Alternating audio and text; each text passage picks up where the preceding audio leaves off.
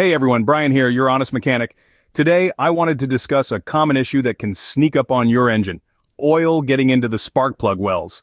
Oil in your spark plugs is bad news and can lead to some serious drivability problems and engine damage if left unchecked. When oil makes its way past worn seals and gaskets and finds its way onto your spark plugs, it interferes with the plug's ability to provide a strong, consistent spark to ignite the air and fuel mixture. There are a few key symptoms you may notice if your engine has oil-fouled spark plugs. First, you may experience engine misfires or hesitation as you accelerate. The car may seem like it's stumbling or not producing consistent power. Under the hood, what's actually happening is the oil contamination is causing occasional misfires as the spark plug fails to ignite properly in the cylinder. Along with the misfires and hesitation, you may notice a decrease in overall engine performance and power output. Acceleration will suffer and the engine just won't have its normal pep. Blue smoke coming from the tailpipe can also indicate oil is being burned in the combustion process. Hard starting, particularly when the engine is cold, can point to oil-fouled spark plugs as well. The spark isn't hot enough to properly ignite in cold, thick oil. Increased oil consumption is also a sign oil could be leaking past seals and making its way into the engine.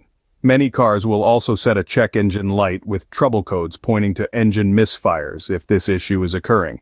The engine computer recognizes there's a problem when cylinders aren't firing properly. So now that you know the symptoms, what causes this in the first place? There are a few common ways oil finds its way onto the spark plugs.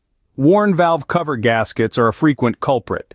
The valve cover seals the very top portion of the engine and also seals around the perimeter of the cylinder head. When the rubber gaskets here get old, they can leak oil. The spark plugs sit down in deep wells, and if the valve cover gasket leaks, oil can drip right down into the plugs. Replacing worn valve cover gaskets is pretty straightforward in most engines. Some engines also have dedicated spark plug tube seals made of rubber that seal around the perimeter of the spark plug tube. Over time, they wear out and can drip oil directly into the spark plug recess in the head.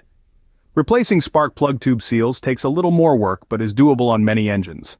Overhead cam engines also have camshaft seals, O-rings, and other gaskets that can wear and leak over time. On these types of engines, worn seals allow pressurized oil to escape and leak down into the head and spark plug wells. Resealing an overhead cam engine that's leaking oil requires a little more skill and knowledge.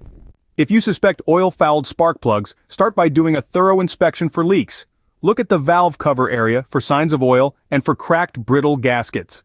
Also inspect the camshaft area on OHC engines for leaks. Replacing leaking gaskets and seals along with installing a new set of spark plugs should get things cleaned up and back to normal. I hope this gives you a good overview of some of the common symptoms of oil-fouled spark plugs, as well as what causes oil to leak onto the plugs in the first place. Let me know if you have any other questions.